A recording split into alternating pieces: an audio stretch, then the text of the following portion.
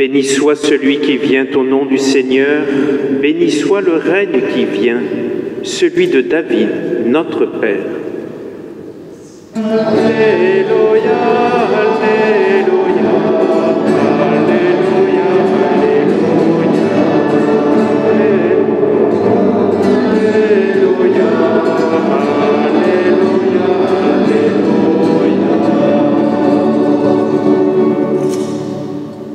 Seigneur soit avec vous. Évangile de Jésus-Christ selon Saint Matthieu.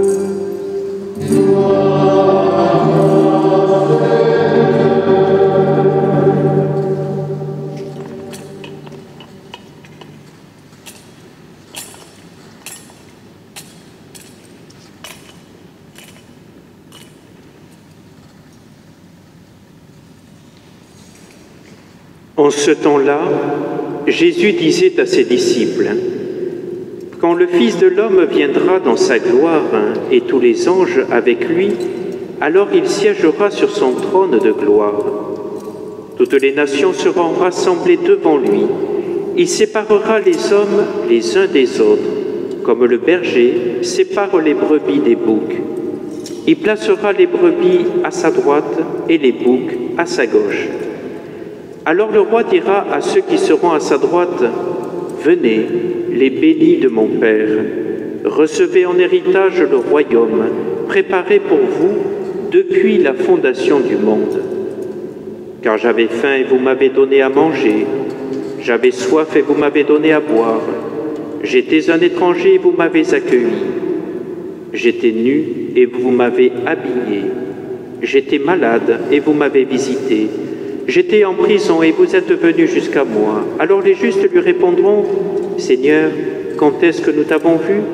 Tu avais donc faim et nous t'avons nourri? Tu avais soif et nous t'avons donné à boire? Tu étais un étranger nous t'avons accueilli? Tu étais nu et nous t'avons habillé? Tu étais malade ou en prison? Quand sommes-nous venus jusqu'à toi? Et le roi leur répondra, Amen, je vous le dis, chaque fois que vous l'avez fait, à l'un de ces plus petits de mes frères, c'est à moi que vous l'avez fait.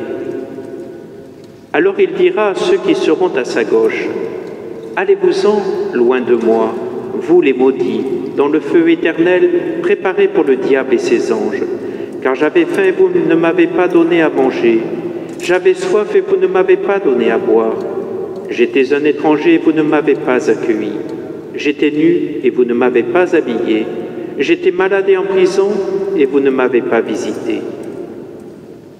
Alors ils répondront eux aussi, Seigneur, quand avons-nous vu avoir faim, avoir soif, être nu, étranger, malade ou en prison, sans nous mettre à ton service? Il leur répondra, Amen, je vous le dis. Chaque fois que vous ne l'avez pas fait à l'un de ces plus petits, c'est à moi que vous ne l'avez pas fait. Et ils s'en iront ceux-ci au châtiment éternel et les justes à la vie éternelle. Acclamons la parole de Dieu.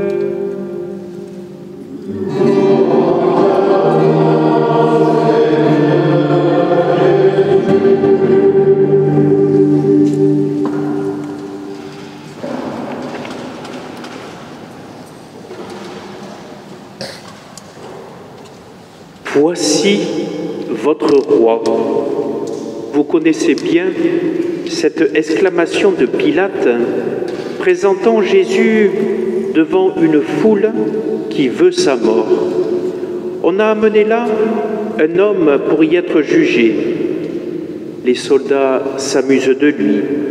Ils ont mis sur ses épaules ensanglantées un manteau de pourpre enfoncé sur sa tête une couronne d'épines et dans sa main, ils ont placé un roseau dérisoire.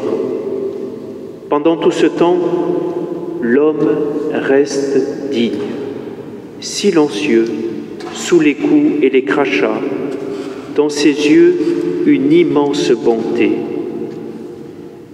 La scène se passera aussi à la fin des temps Cet homme jugé, bafoué et ridiculisé, cet homme infiniment bon reviendra à la surprise générale. Mais cette fois, en véritable roi, en roi de justice et non plus en innocent jugé, en roi de gloire et non plus en roi ridiculisé, un roi d'amour qui aura conservé toujours son infinie bonté. Et surtout, ne soyons pas étonnés si aujourd'hui l'Église brosse devant nos yeux le tableau magistral de la fin des temps. Nous sommes, c'est vrai, au dernier dimanche de l'année liturgique qui déploie en fait l'histoire sainte du monde, l'épopée de l'humanité, de la création à la fin du monde. Et on aimerait bien que cette fin d'année liturgique nous ouvre sur des temps nouveaux, sur des temps plus favorables, sortant rapidement de cette pandémie. Nous sommes devant un roi de justice.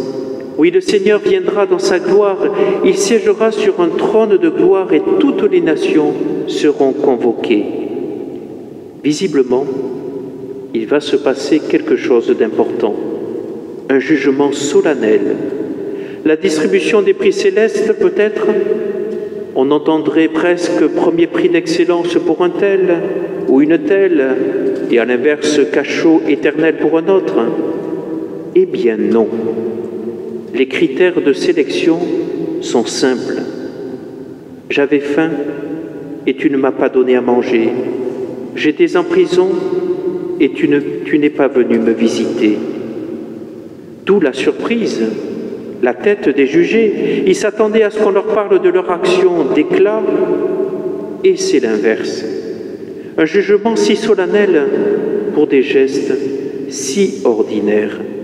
Avoir faim, avoir soif, avoir froid, être malade, être isolé. Et Jésus est là, présent dans nos frères et sœurs, pauvres, délaissés, oubliés. Pourquoi n'avons-vous pas vu qu'il avait faim?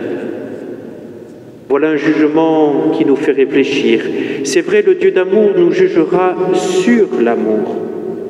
Parce que tu as entendu l'appel de tes frères et parce que tu as laissé vibrer ton cœur pour que tu ne le laisses pas dans une souffrance sans soulagement, tu es la brebis fidèle qui plaît à Dieu, tu es le béni du Père. Le retour du Christ, nous l'avons entendu, sera triomphal, pas seulement par la mise en scène grandiose évoquée dans l'Évangile, mais parce que le Christ sera mis à sa vraie place, la première. Il est le premier, il est le victorieux, il est le maître du temple alors éclatera cette présence invisible du Christ à l'œuvre actuellement dans le monde. Il est le rassembleur universel, la tête de file de la caravane humaine, chargée d'entraîner vers le Père toute l'humanité. Il a mission de tout réconcilier et de tout restaurer, de tout récapituler. En lui, tous les hommes ressusciteront. Il les entraîne avec lui dans sa mort et sa résurrection.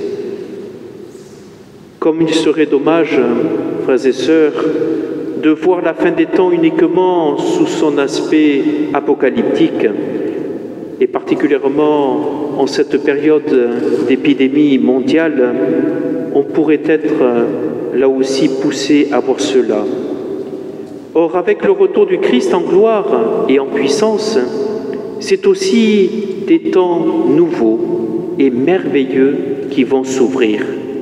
C'est le règne d'un roi amoureux de ses sujets, ou plus exactement d'un roi amoureux de cette humanité dont il a fait sa reine pour l'éternité. Oui, tous les hommes, célibataires ou mariés, abandonnés ou laissés pour compte, tous sont appelés à connaître un jour la joie des noces, avec un époux qui ne décevra pas, qui essuiera toutes larmes de leurs yeux et dira à chacun des paroles d'amour. Alors en conclusion, si le roi du monde n'est plus le roi bafoué du prétoire de Pilate, il est toutefois demeuré le sauveur au cœur aimant, le roi doux et humble de cœur, dont la véritable puissance est essentiellement celle de l'amour. Le roi qui juge, mais pardonne infiniment.